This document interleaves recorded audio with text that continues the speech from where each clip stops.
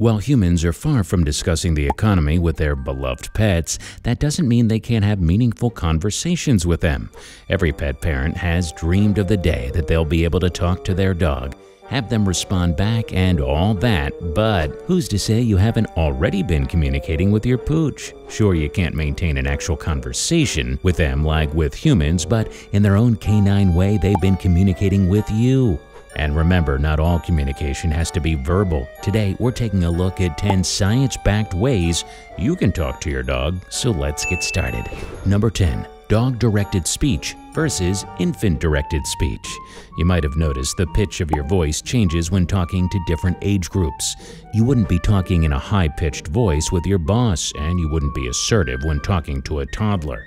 The way we subconsciously change the pitch of our voice when talking to different age groups is referred to as infant directed speech. Scientists have determined that this method of speech is actually quite necessary to be able to form a strong bond with a toddler. Now, scientists have conducted research that shows that talking to a puppy in the same high pitched way would form a bond with them too. This is known as dog directed speech. Does dog directed speech actually work?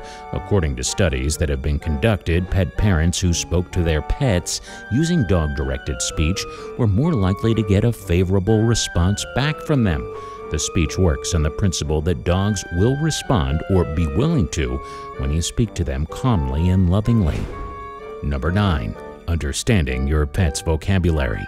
The cat goes meow, the cow goes moo, but the dog can go roof, bow wow, woof, and a whole lot more. Science has shown that given canines' close relationship with humans, well over 80,000 years of it, they've developed a more vast vocabulary when communicating with humans.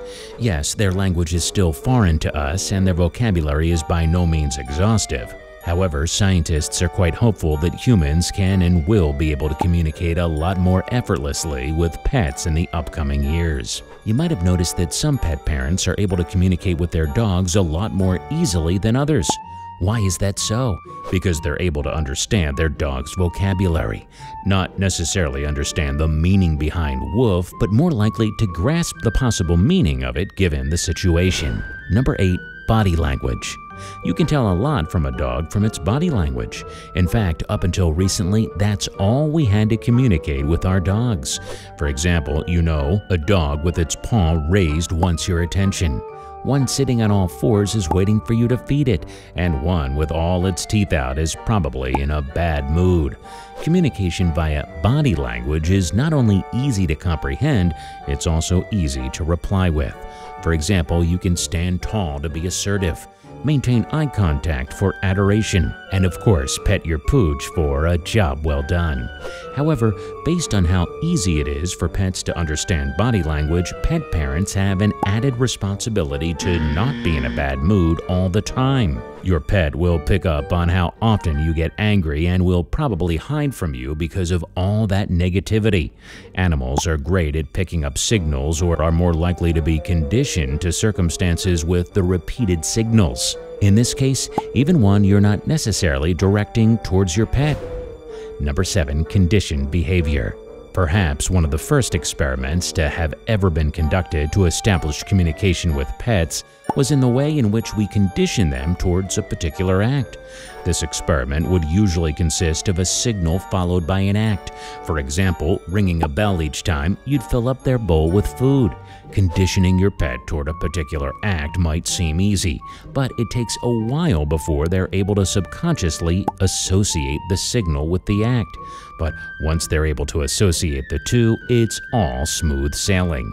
This isn't limited to conditioning them to eat their meals. It could also be when it's time to go outside, time for bed, and so forth. Number 6. Picking up on signs your pet is giving. So far, we've talked about signs you could give your pet to help them communicate with you. But what about the signs they're already giving you? Are there any signs? Well, sure there are. Your pet has been giving you signs, and you've picked up on them too. For example, some pets would raise their paws at the television screen to get you to change the channel. This act isn't common behavior amongst all pets, but it's something some of them do. While you might not have been able to understand it the first time around, you eventually picked up on it. In a way, your pet has been conditioning you. It might be frustrating for you to not be able to communicate effectively with your pet, but it's probably a lot more frustrating for them given how they rely on you for sustenance and cuddles. Number 5. Eye contact is key. They say in order to get anyone's attention, you need to be able to make eye contact with them.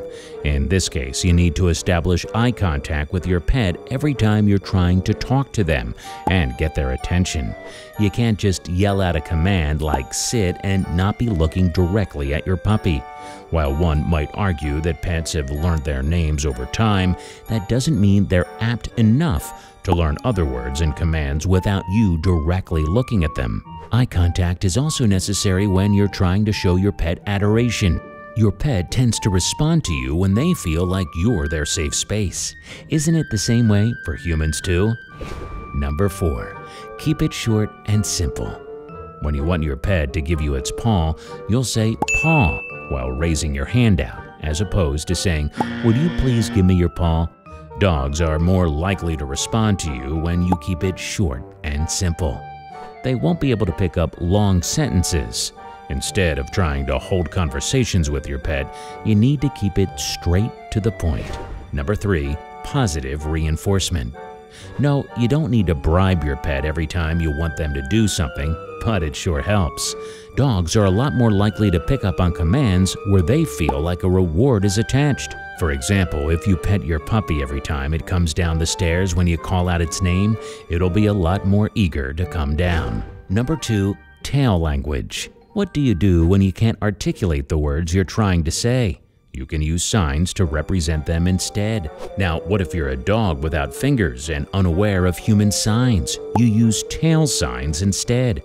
Tail language has been well researched and documented. We now know that an erect tail is a greeting, a low tail shows sadness, and a wagging tail means your pet is in a great mood.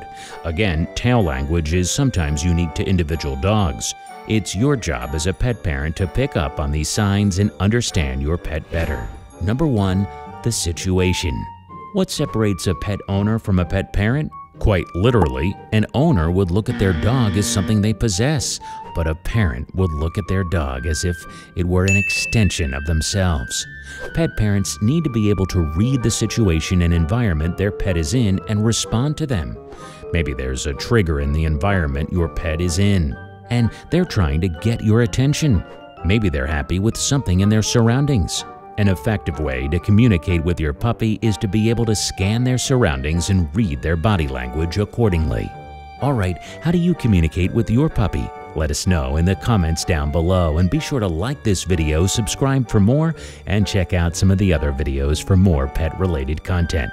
We'll see you in the next one.